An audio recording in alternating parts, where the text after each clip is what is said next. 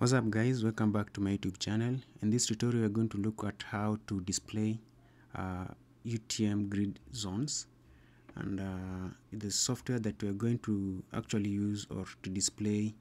the UTM grid zone is uh, Google Earth Pro. So uh, the first step is to just open up the the software or the Google Earth Pro application and then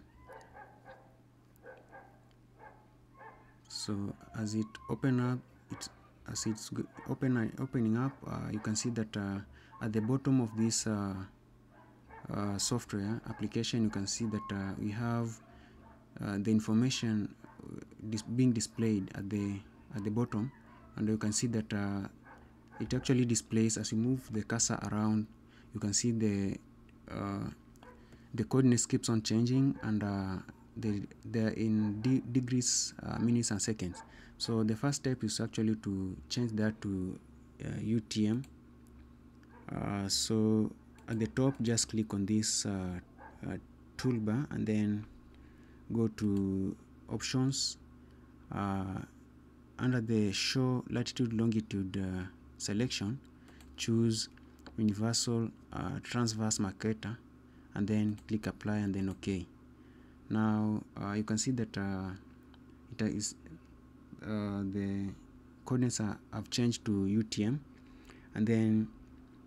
uh, in order now to display uh, the grids uh, the grid zone you can now go to at the top of this application there is a view tab. So click on this view and then go to grids so if you select grids you, you can now see that uh, uh, the zones have been been displayed. And uh, if I double click on this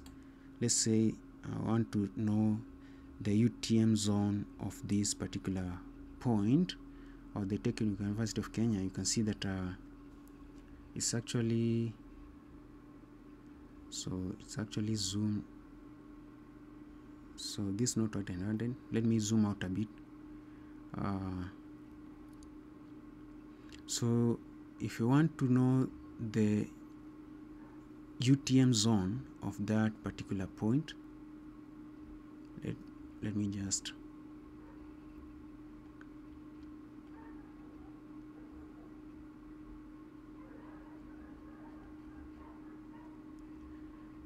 you can see that uh,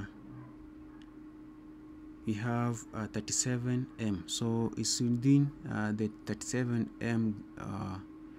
grid. So how we normally read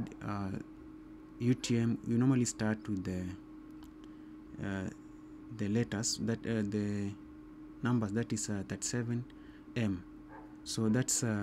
that's the grid within which this pin is found. So uh, if this pin will have been at this uh, particular leg it will be actually uh, 36 36 m zone. So uh, that's uh, that's it for this tutorial and that's how you can actually uh, display the UTM zones on Google Earth Pro. So see you in the next tutorial